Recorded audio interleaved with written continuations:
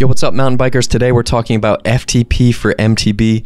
Does it matter? Whether you're an XC racer, an enduro racer, or a downhill racer, does this roadie metric actually matter for you?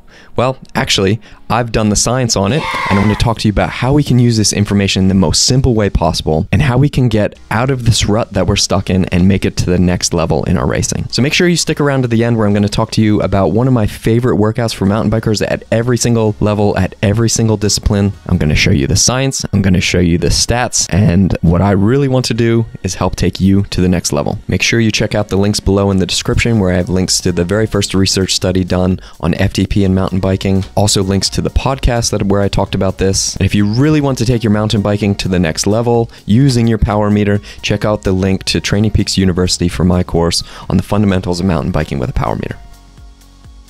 In a way, most mountain bikers probably think they're more like Usain Bolt than they are Eliud Kipchoge, right? We think we have to repeat sprints over and over and over. Therefore, we are sprint athletes, whether we race XC, downhill, or enduro. Now, as an upcoming sports scientist 10 years ago and a mountain biker myself, I couldn't believe that measures like FTP meant anything for what I was doing in my cross country racing and in my enduro racing, which was just becoming popular at the time. I just gotten most of the way through my bachelor's degree in sports science, and I thought I knew everything about mountain biking, sports science, physiology, and kind of everything. But what I found found is that I didn't actually know as much as I thought I knew. So if you've ever looked at a power meter file from a mountain bike race, you'll see that this the power's all over the place. Spiky, up, down, up, down, up, down, up, down. When we look at that, we think, well, if I want to train to become a better mountain biker, I need to sprint more, sprint more, sprint over and over and over, because that's exactly what's happening in a mountain bike race. Well, it kind of makes sense because in a, in a way that is what's happening. But a mountain bike race is really long. Even even a downhill race is like pretty long, right? There, we're three to five minutes in a downhill race. You sprint a few times, really hard. Enduro races are really long, big days, long stages where you have to put in effort after effort after effort. And especially XC races, we need to dig deep on climbs, recover very fast on downhills, and then repeat the effort again up the next climb. In contrast, an FTP test is super steady, right? You go as as hard as you can, kind of as steady as you can, and you go hard for 20 minutes. If you've ever done one, you know they're absolutely brutal. But it's really good because like FTP is meant to represent the highest level of aerobic metabolism. I guess they're like some other tests that you could do, such as critical power. I also did some research looking how that related to MTB. But FTP is a good one because there's some real value in being able to use that information to set your training zones. Now, if you clicked on this video, I assume you already know what FTP is and that you've done it. But let me bang through what I usually do with mountain bikers. Andy Coggan and some other scientists created the 20 minute FTP test. And what you do is you go as hard as you can for 20 minutes. You take 90% of that value, and that's said to represent the power that you could do for one hour. Now, kind of makes sense because you can go harder for 20 minutes than you can for an hour. So the power is going to be higher for that 20 minutes. So take 90% of that, and you're around about your FTP. Now, FTP is meant to represent your lactate threshold. It gets a little bit convoluted here because your lactate threshold is kind of the gold standard of what your aerobic metabolism is. The problem is to do a lactate threshold test, you need to go into a lab. You need to increase in the intensity that you go, and a scientist is going to take your blood and analyze that to see if you're at kind of a steady state level. Once you hit something like maybe 4.0 millimoles per liter, we say that you've hit your lactate threshold, and anything above that, you're really limited in, in what you can do. Like, say your lactate threshold is 300 watts. If you're riding at 350 watts, you're not going to be able to hold it very long. Whereas if you ride at 300 watts, well, you could probably maintain that for about an hour. All this stuff is an absolute pain. Like, who goes to a lab to get their uh, lactate tested regularly. I mean, you you can you can absolutely go do that, but there's also error associated with those methods as, as, well. So what I like to do is I like to do the FTP test for every athlete that I work with. Now there's the 20 minute test, there's the 8 minute test. Sometimes I even use a 10 minute test it really doesn't matter. Yeah, honestly, I don't think it really matters. The only thing that we're trying to find is we're trying to find a level at which you can sustain it, below which, well, you can definitely sustain it, above which you can't sustain it. So once we find that level, we got it and we can set training zones based on that. Also, the beautiful thing about once we have that is we can test it over and over to see if we have a performance improvement. And that's it. That's really what we want with our FTP test. We want to gauge and track improvement as we go because otherwise we don't know if the training that we're actually doing is actually helping us improve. So when I was a young scientist looking at these power meter files, I mean, power meters had just come out for mountain bikes. I'd been using one on my road bike a little bit. I read all these roadie books, and they didn't really mean much to me because I'm just thinking I need to go hard. I need to go hard as a mountain biker. So when it came time to do my undergraduate research project, I could have done like something like an internship, which I really wasn't interested in, or I could do a research project. I hit up the guys at PowerTap and they actually agreed to like support my study. They sent me some power meters, uh, one for the mountain bike, one for a road bike, and a trainer, and we set out to do this pretty optimistic test on mountain bikers. Okay, so what did we do? So first off, since I was a cheeky scientist, I created my own test. I called it the intermittent power test. And I looked at a bunch of mountain bike race files, and what I found is that probably 45% of the time was pedaling and 25% of the time was coasting. So when I created the IP test, it was 20 efforts of 45 seconds on, as hard as you can go, and 15 seconds off. So it was actually really hard, and we had a group of 10 or so mountain bikers repeat this test and also a 20 minute FTP test.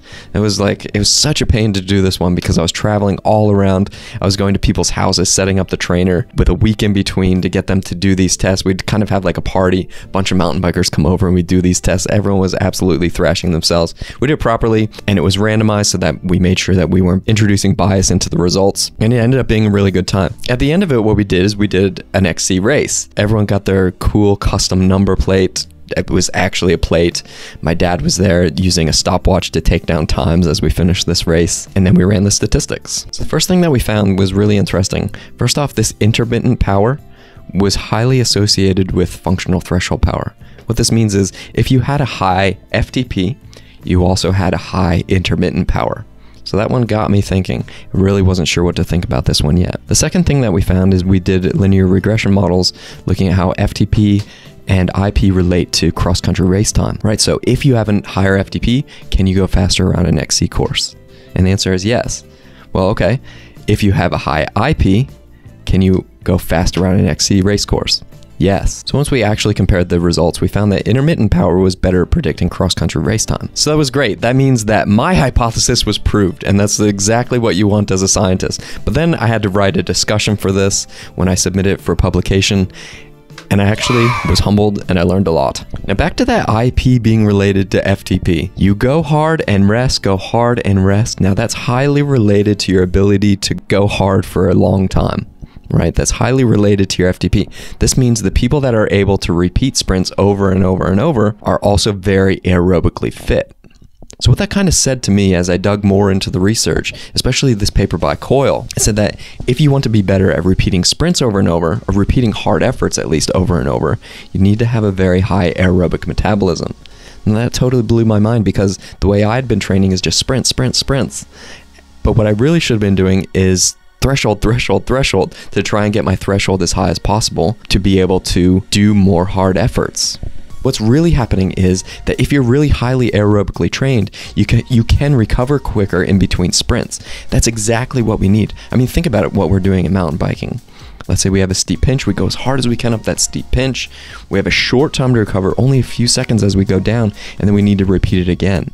So, what this means is that if we're really highly aerobically developed, we can do more of those hard efforts. And that's how you win a cross country mountain bike race. Now, enduro and downhill riders, we haven't forgotten about you because this is also really important for you. Now, think about it. A downhill and an enduro race isn't a 10 second all out sprint. It isn't a 30 second all out sprint. It isn't even a one minute or a five minute effort. It's go as hard as you can, hold on for dear life in a way, and then repeat that again. Now you can kind of see if you've been following what I've done since then, you can kind of see how this kind of all came full circle, where I've been working with mountain bikers for a long time. We've won a lot of national championships, World Cup top 10s overall, and now we work on braking and we built this sick brake sensor so we can start to understand the other side of it, right? But it was really interesting at the time and it really blew my mind and it really guided the way that I trained mountain bikers from that point on where we really focused a lot on raising their level of aerobic metabolism, raising their FTP. I'm planning to do a future video where I look at my favorite interval sessions for any kind of mountain biker and I'm going to give you a free one right now. That free workout is one that's going to help you raise your FTP. And here it is. Like this is probably one of the most straightforward workouts that you can do and and there's a lot of really good things about it. So this is 2 by 20 minutes in zone four. Now remember, zone four is a zone. There's a lower level and there's an upper level. Now there's no reason to dig insanely deep on this one because 20 minutes is a really long time. But 2 by 20 minutes in zone four is a banger workout for any kind of mountain biker. So what this does is it gets you working just below your FTP, but what it's doing is it's creating all these metabolic byproducts that you're going to need to be able to buffer when it comes time to do your next FTP test, right? So we're going pretty hard, not too hard, not absolutely smoking ourselves, which means that we can recover fast and do it again soon. All right, so I hope that helps you, and I hope that helps you set your training for this upcoming season. And if you want any help from me, feel free to reach out, right? That's what I do is I help mountain bikers. Stay tuned for some more videos. I'm going to do a bunch of things on more interval sessions and also some things about braking, which is where I spend most of my time these days, developing the sickest new technology to help mountain bikers get faster without getting fitter. Of course, you can combine that, which is what we really want. We really want to take mountain biking to the next level. So check out the links in the description. Subscribe, share this with your friends. Like, it's really hard to get noticed in this YouTube world. I'm trying to make some more videos and share this information that I have. So if you can like, subscribe, and share it with your friends if you liked it, that would really help more people see it. Thanks again. We'll see you next time.